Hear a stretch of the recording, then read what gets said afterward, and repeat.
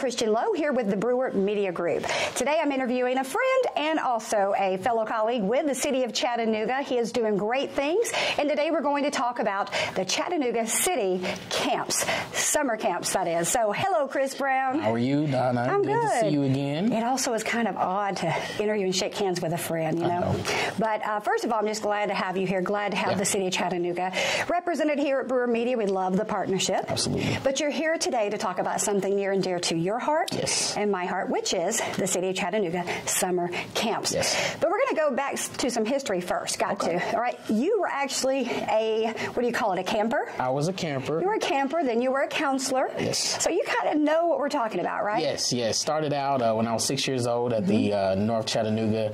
Uh, was Recreation Center at the time. It's now Community Center. Okay. But uh, uh, just remember all the, the great memories. And then uh, when I was 13, was able to start volunteering and then transition over into working. So that's I how love my that. start. Now, your official title is the director of Community centers. community centers. That's Yes, pretty easy, yes. right? So, but I also love that you kind of know what you're talking about. You know, there's nothing worse than working with someone that hasn't been there, done that, but you have, and you've got several T-shirts. Yes. So let's get into the who, where, why, when, what. Yeah. Um, I was surprised to learn that any child, teenager, can go to these camps, Yeah. right? Yeah, so the camps right now that we have are 6 to 12, um, and we've got a couple of slots that are still open in our city. Uh, we are doing a Go Live Media Camp, Okay. um, and it is it is pretty pretty booked at this point. Uh, Now, what do you mean we- by go live? So it's a Go Live Media Camp. So uh, folks that want to learn radio, want to do music, What we're do doing right here. graphics, exactly. Love it. Um, we we hosting that. We've got a couple of uh, uh, colleagues and representatives who specialize in those Mm-hmm. types of programming, and so we're really excited to be offering that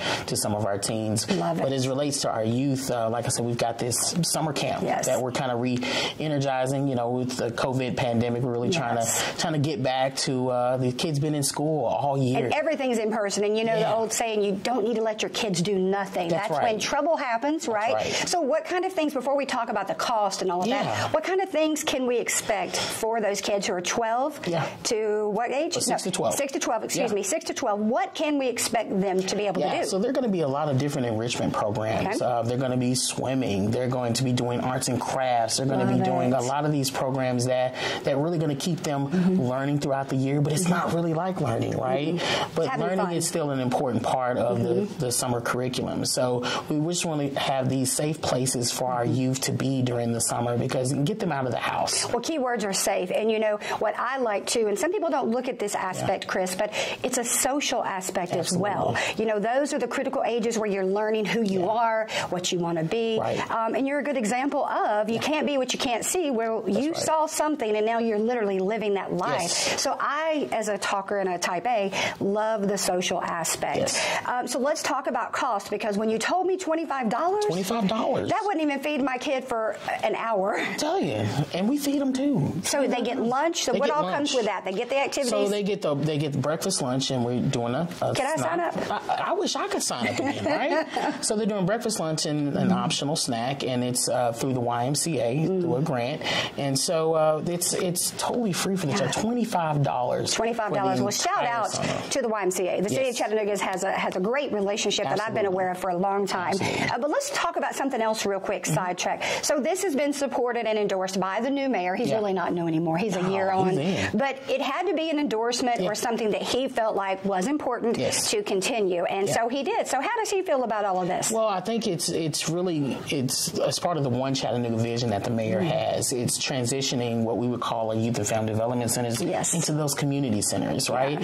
And so, in looking at that, the community centers are more of taking a community centric type Yes. programming, right? Yes. So you can go to the community center and get any kind of assistance that you need. So, as as in my new position, that's kind of what my job is, and as far as my co-director is, is looking at ways of how do we make that community center Yeah. pop in those areas. So Absolutely. we're doing a lot of different things. We're doing community advisory committees. We're doing the summer programming and all Mm-hmm. types of new and innovative programming that really brings the community out. I love that. Well, one of the questions I try to think as a mom in this interview. So one of the questions I know people are going to have, okay, well, I live in the Harrison area, or I live in Red Bank, or I live in Hixson, and the areas we have right now available are Those, oh, so the, the areas so that we because have. can they go to those areas? They can. even if they don't live in that Absolutely, community. Nice. absolutely. Um, I we like wish we could have our areas spread out Right. in all of us, but but we, we do have a couple that are sprinkled across town. Okay. So yeah, don't feel hey, if I live in the county, can I come to this? Absolutely. That is great. You know, and again, it's access, giving yes. access to people